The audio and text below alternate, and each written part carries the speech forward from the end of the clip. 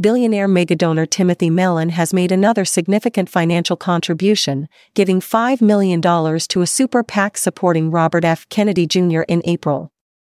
Mellon, who has previously poured millions into a super PAC supporting Donald Trump, is stoking speculation that his donation to Kennedy is a strategic move to siphon votes away from President Joe Biden, potentially tilting the election toward the GOP.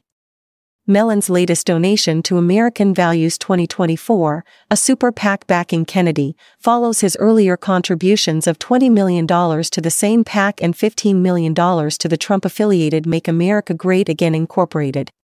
His recent $10 million donation to MAGA Incorporated further highlights his substantial influence in the 2024 election cycle. Kennedy, known for his famous last name and appeal among young and Latino voters, groups traditionally supportive of Democrats, has seen his candidacy pulling support from both major party candidates.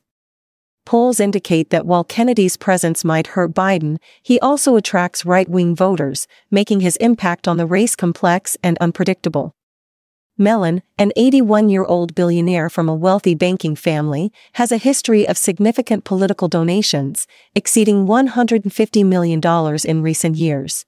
His motivations remain unclear, though his contributions are seen as strategic moves within the political landscape. The Kennedy campaign maintains its independence from the super PAC, emphasizing broad support across the political spectrum.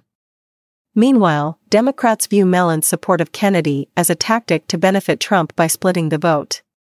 The new campaign finance filings also revealed significant contributions to American values from other notable figures, including a $1 million donation from LimeWire founder Mark Gorton and support from former billionaire Trevor Milton.